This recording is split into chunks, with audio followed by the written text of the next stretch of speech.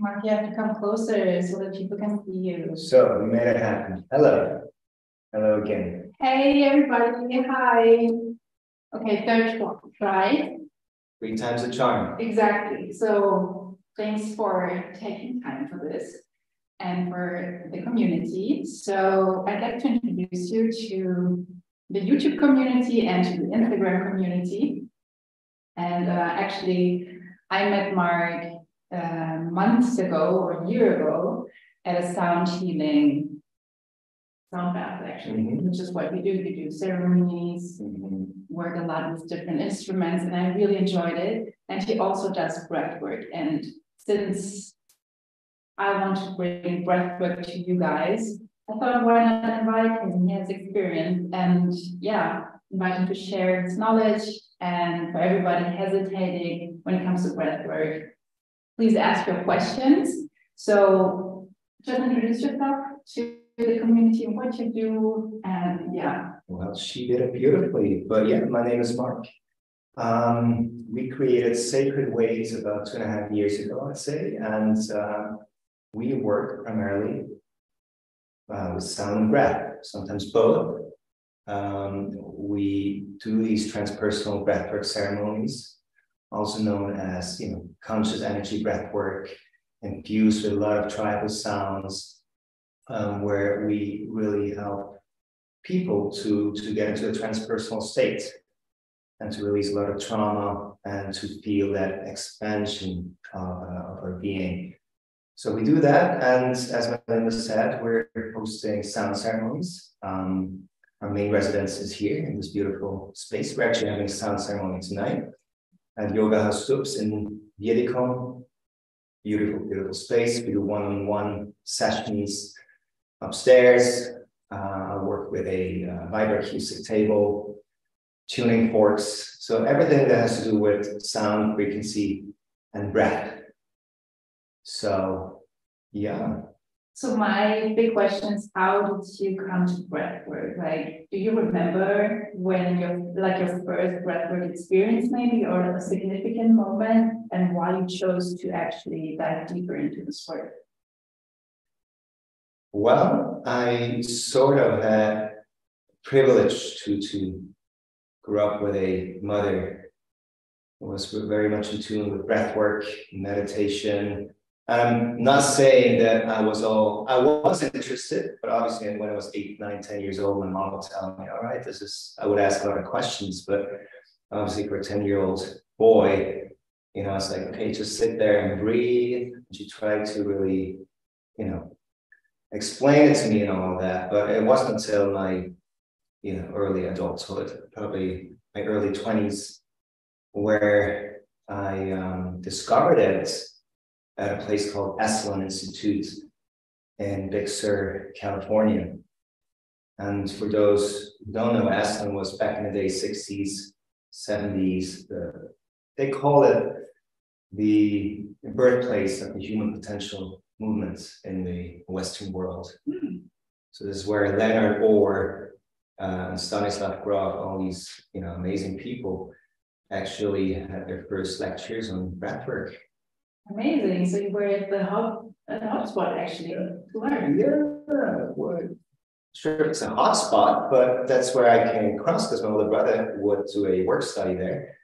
And it wasn't until like seven years later, late 20s, when I did different workshops at Esalen, you know, sometimes for three weeks and again for two months. And that's where I really immersed myself in that kind of transpersonal breath work, as in holotropic breath work and um, conscious connected breath work. Uh, I've never worked with Stanislav Grof, some other amazing people, and um, you know, it really opened the world to me that was just way bigger than we could perceive, could possibly perceive. So it was, it came at a moment when I really needed it. Always does. yeah, always does somehow it finds us.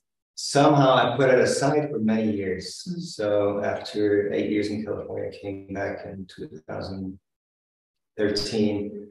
And it was only like um, six, seven years ago where I really started working with breath again on a conscious level. Mhm. And not only that kind of transpersonal breath work, but also, you know, pranayama and uh, all kinds of ancient breathing techniques that really get you into a present moment awareness state. Mhm. And um, yeah, it's a beautiful tool. It's, it's you know these two tools, sound and breath, is you know I wouldn't say all there is, but almost you know these two tools will they're just given to us. You know.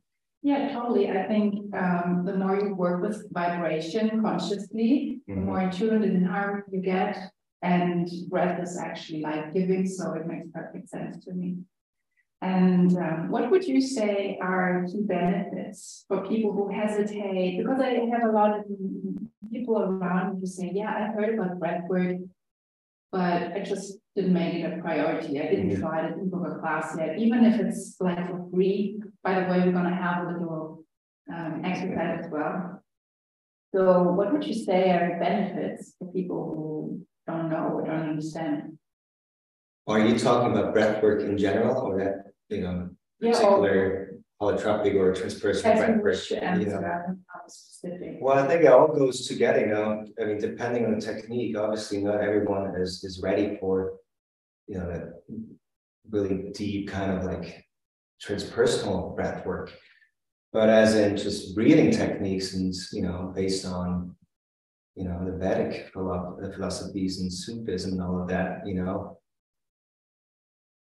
The main benefits are, you know, body awareness, because this is where everything will be manifested where we we don't really like to tap into it but everything emotionally manifests in our bodies so all these breathing techniques really help us to really dive within and listen you know well what's going on in my body? Where are there contractions? You know we have two feelings i say in our body which is a contraction and expansion you know and usually we don't want to pierce through the contraction because it really hurts what we might experience there Mhm.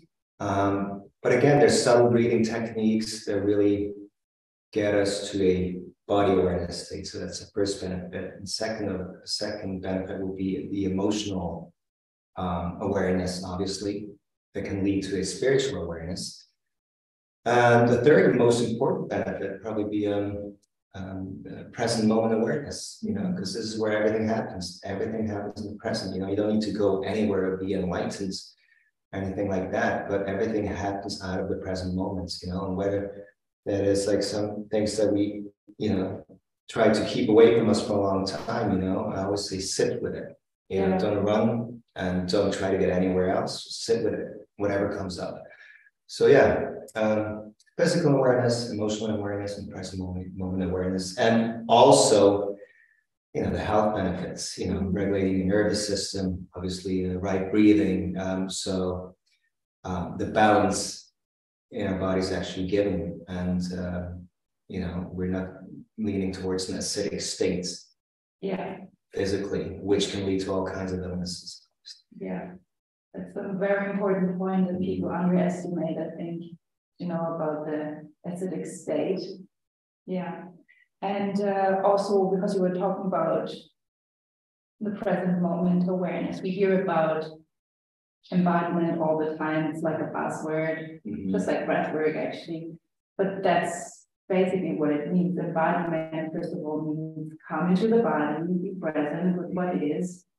And uh, yeah, like being in, in integrity actually with thought, emotions, how you feel up, just have like everything calibrated.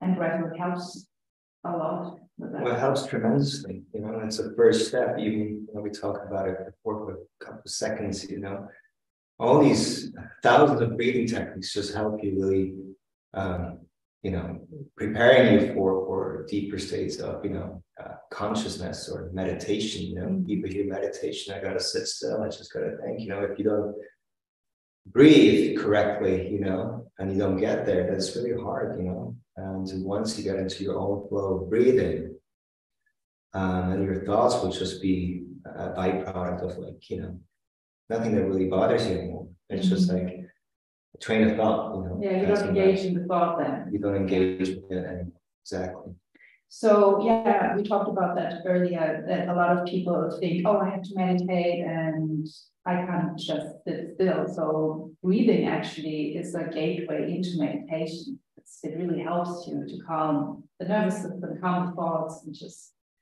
come more into the present moment. okay, so let's talk about myths because there are a lot of myths we hear about like this is the magical pill, everybody has to do it, you have to do it once. I don't know. Do you have anything to share about a myth or something you would like to clarify for the community? Not sure if it's a myth. I think um, what occurred to me in the last couple of months or years is like, you know, I just see, see like ads, you know, calling breathwork the new yoga. And I think even yoga was, you know, mainly misinterpreted, you know. Mm-hmm. And now it's kind of like, you know, which is a beautiful thing too. You know, you have more and more amazing practitioners doing a, a breath work. Um, but I think the myth is that one technique is like superior to the other, you know. I heard like people saying, oh, this technique is outdated and uh, you should try my technique. So that's where I'm struggling with. And um, when it comes to transpersonal breath work, you know, where you really dive deep and have these, you know, deep, uh, almost awakening experiences. Um, I think it's a myth that's, I think the word I like to use is spiritual bypassing, you know. So people do this work and there's no promises like, okay, now you're you're getting out of a session and everything is fixed for you, you know. Mm, yeah. It may trigger a series of positive events, you know, but I think the main thing is still after you breath work, how do you actually integrate it in your daily lives? Yes. How do you integrate it? And um, same with pranayama, you know, you, it's it's there's one thing about self-discipline where you, you know, it's really important to have your, if you can, if you wake up at five or six in the morning, have half an hour, and that's beautiful, and do this every day, amazing. There's just times in life where that's not an option. You know, you just might be a parent of a newborn. You know, you just need your sleep. So one of my teachers uh, told me over and over again. You know, one conscious breath could be meditation. So I think it's not what kind of breath work you do, as long as you have someone as a experienced instructor, you know, leading you all the way towards uh, your own truth, and you will feel it intuitively if this or that will be the right technique for you. Yeah, so wonderful. different breathwork methods with different practitioners. I think it's really important who leads you, um, which ultimately the practitioner, should lead you towards you finding your own flow. You know, then you don't need anyone at all. But um, I think the myth that it's a magical pill that solves all the problems, you know, um, you know what I mean? I think so. I think um, you've touched on a few points. The first one is is this um, competition between um, techniques. I think it's for marketing reasons. Come to me, buy my stuff, whatever. So that's not true. There is it's whatever fit your lifestyle and your like needs, right? So there are different techniques. It might be breath work, it might be something else within the yogic realm. And then um, what else did you say? Yeah, you talked about discipline, how to integrate what occurred during a session, or even having the discipline to get into your own routine, to find your own style, your own rhythm with it. And I would add, don't shame yourself if you fall out of a routine. That's surrender. That's that's what, what ultimately creates flow is surrender and self-discipline. You know, if you find the balance in that, mm-hmm. then you're in the flow. Mm-hmm. You know.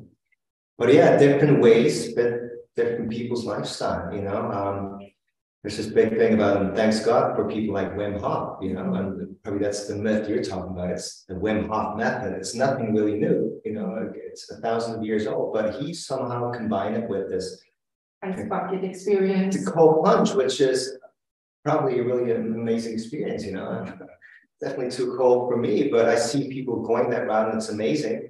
what it what it can do to you physically and emotionally. Um, but when you hear people say, well, do you want to take the easy way in life or you want to take the challenge, you know, because you grow by challenging yourself, you know.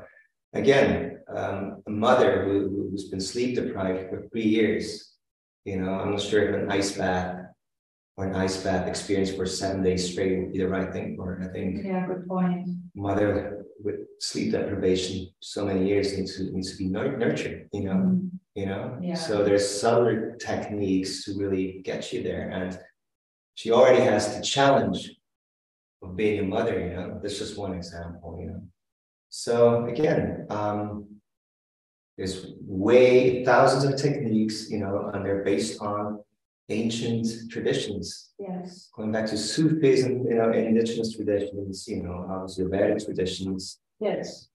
and so on So we're talking about different uh, traditions. I'd say let's experience also breathwork exercise. But is there anything you'd like to share before we go into the exercise with the community? If they hesitate trying, let's say. When I hesitate trying doing any kind of breath work, it will call you. You know, if you hesitate, it's okay. You know, there's no pressure, and this work calls you, and and I think that now we're all there that we know, you know, scientifically that the right breathing helps you.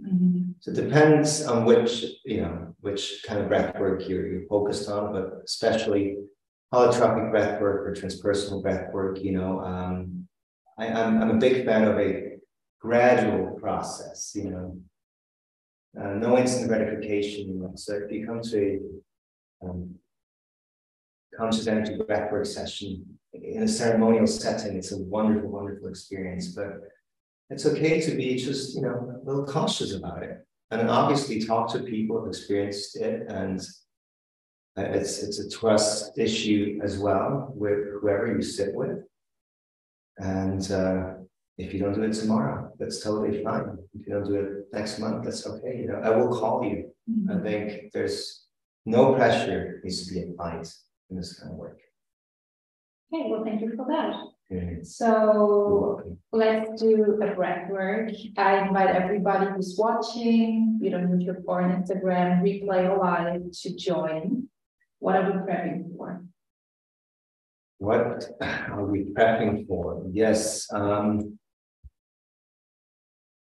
I think, you know, sometimes people are surprised how the easiest breath work techniques can be the strongest ones, you know. So we're not doing anything fancy, so to say. Um, but we talked about it before. I think uh, uh, a session, short session of Kapalbhati breathing, which is this abdominal breathing. Um, that kind of like seems like it's shallow breathing, but it's not. And even this, the rapid breathing technique seems like you could hyperventilate, but you're not. Um, and still, if you're pregnant, uh, any cardiovascular diseases, or you have high blood pressure, um, you might want to refrain from doing this kind of breath work right now. All right. So uh, Kapalbhati is just, you know, a breathwork technique to really, well, for once it gets you, you do it in the morning, it gets you really started, um, as in you, need your focus, um, it regulates your nervous system really, really quickly. It really gets your metabolism going in a healthy way. Um, it gets you into a, um, a natural balance. I actually use it instead of coffee. Oh, really? Yeah. I do it before the coffee. Oh, yeah, that- and then has a matcha. So it's the coffee, but Mhm. yeah, but it's super powerful. It's super powerful. So you basically just you're working with your abdomen, you know, just this part. Uh, what's um, interesting about it, it's an automatic inhalation technique. So you're just focusing on, on the exhale, as in, so inhale uh, happens automatically, Mhm. you know, and you're just using your abdominal muscles down here, you know, but um, also you focus on the rapid breathing as in and one channel through the nose, obviously, and it goes like That's rather quick. That's rather quick. We can actually start up. We can do three rounds and um, start a little slower, Mhm. not too slow. And obviously, if it feels uncomfortable for you, adapt your breathing. Um, that's totally fine. There shouldn't be any, you know, pressure on it. I got, I got to go there. No, just be really uh, connected with this breathing technique. Just focus on the exhale, and you will see the inhale happens automatically. So we actually just pump. You yeah, like this pump, how you call Yeah. it, get the fire going. Exactly, that's how it works. But you know, this is a more uh, gross body activation technique, and what I like about it and how I do it is I do like around a round of thirty, and then after thirty, with the with the last exhale, I go into what we you know what I call the ocean breathing technique, where you really go into a southern breathing technique all the way down from your roots up to your heart. You know, you really feel the expansion. But after a round of Kapalbhati, what you feel is that this body awareness, you know, your heart pumping, you mm-hmm. know, you also feel where like every like tension or contractions in your body. So it's kind of like a mindfulness technique before you actually get into meditation.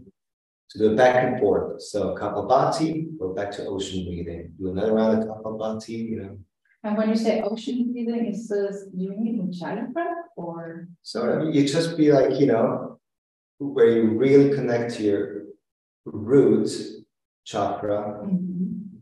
in this natural flow state with your And do I have to make an ocean sound or? no, you don't make an ocean sound. You know, I just call it like that. You can just call it like, you know, you get into regular breathing, but more like conscious regular breathing, you know. Okay.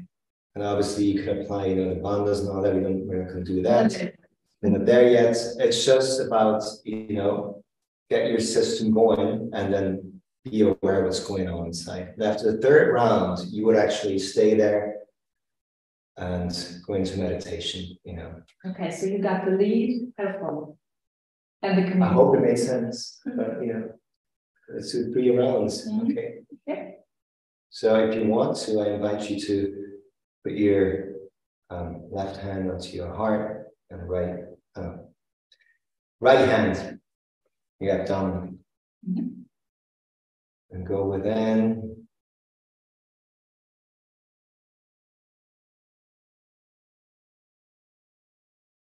Whenever you're ready. Let's start with the first round, this breathing technique. Not quite as rapid as I was showing before. One chant through the nose.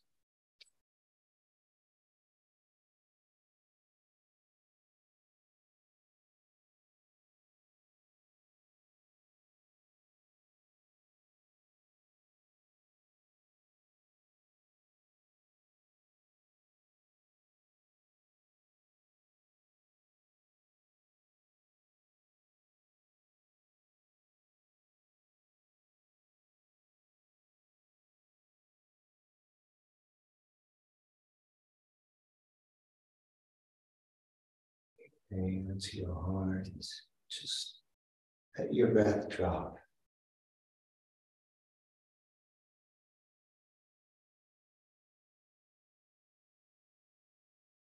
Feel within what's happening.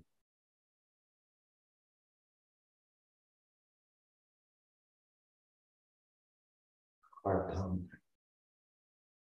bloodstream.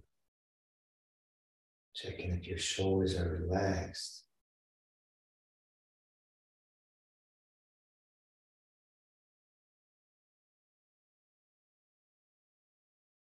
Jaw relaxed.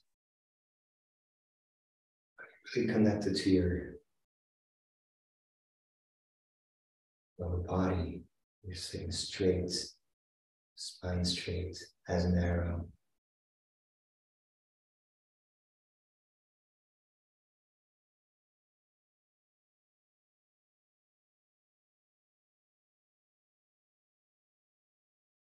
arrow. Be aware of your thoughts. Just let them pass.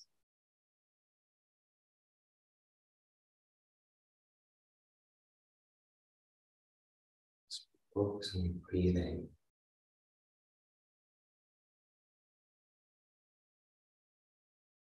Or any kind of distractions, whether they're emotionally, physically, stay connected with your breath.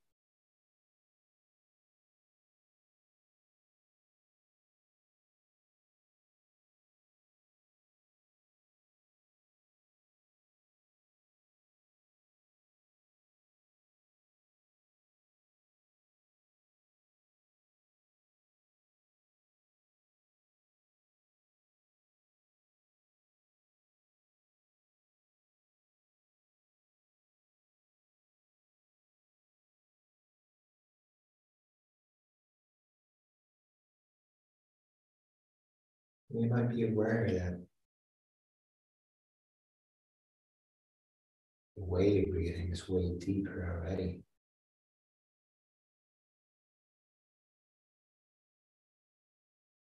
Softer now that your heart rate is going back down. Every breath gets softer and softer.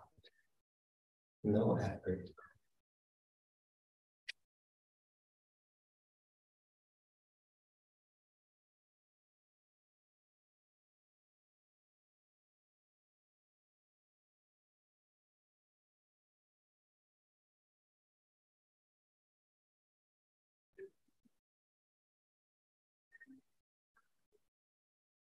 Taking an inhale exhale. Place your hands, your heart, tummy again.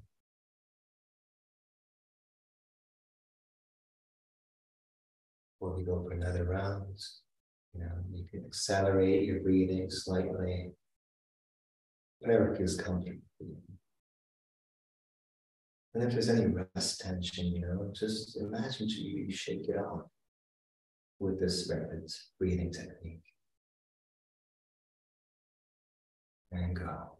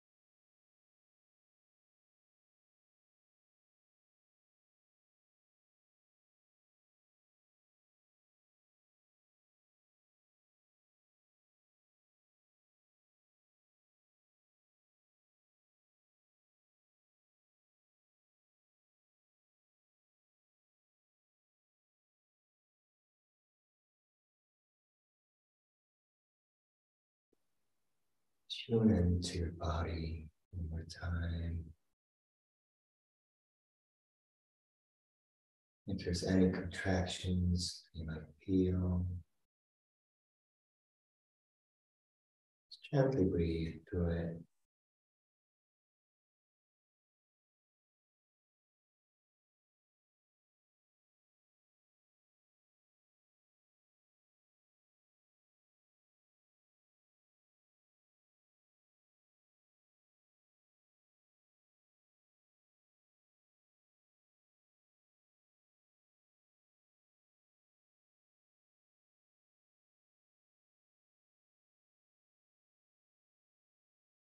Mm-hmm.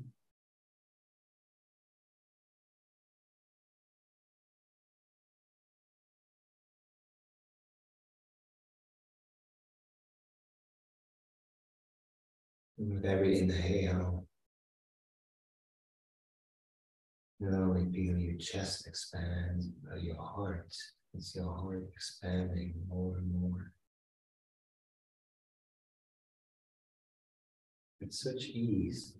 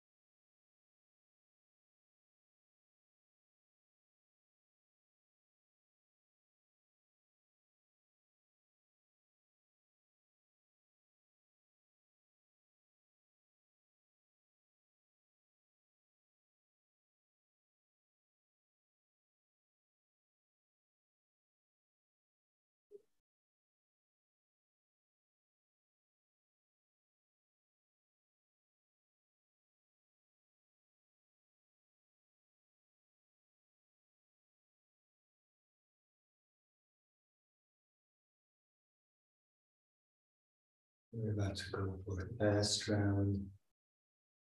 Rapid breathing. You may go a little faster as last time or not. Go with your own inner voice, which is always voice of reason.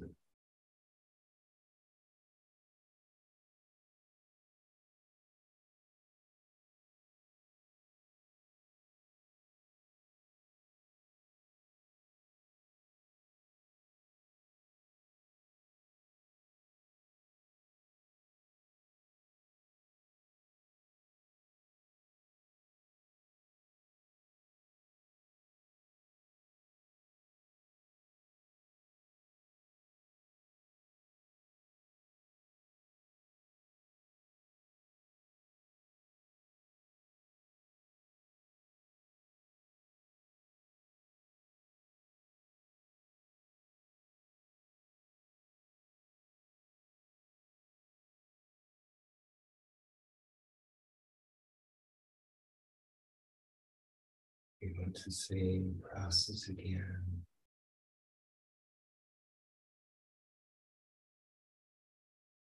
What's going on within your body? Storing your emotions. Just feel it.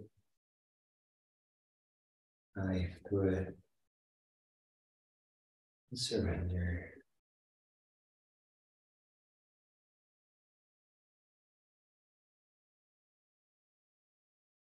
Gradually dive into complete stillness for a few minutes.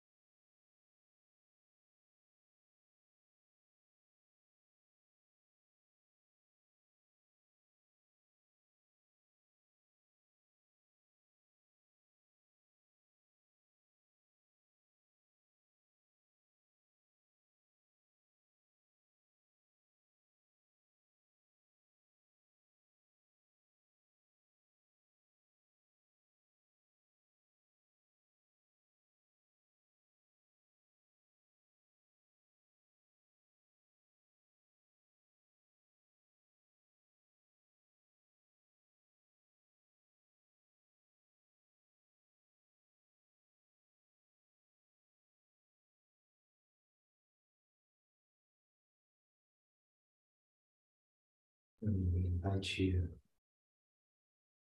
to come back.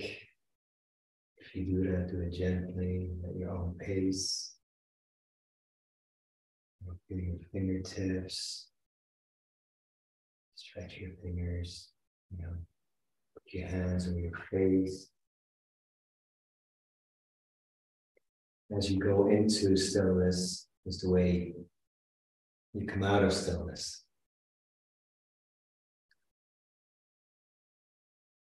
And obviously, it's very nice to stay after a third round, stay in a state of stillness, state of being for a few more minutes or longer. You know. For tonight, I will have to do it. Yeah, thank you for that. It's very nice as we have to wake up, to be honest. Um, well, in closing, where can people find you if they'd like to work with you? Well, it's all on our website, sacredways.earth or sacredways.ch. You know, we have all our events listed on there, um, our offerings, retreats, it's all on there.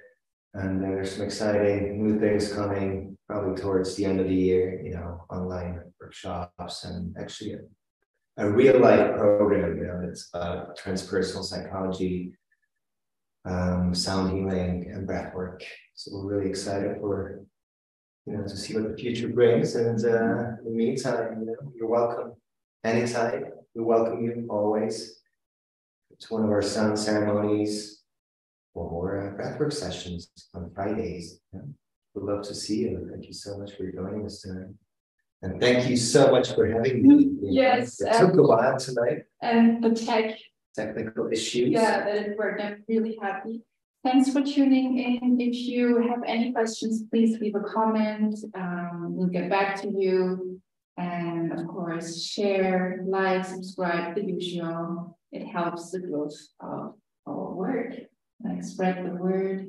Spread the word. Yeah. Thanks for being here and um, see you soon. Bye. Thank you. Thank you. Thank you. Thanks.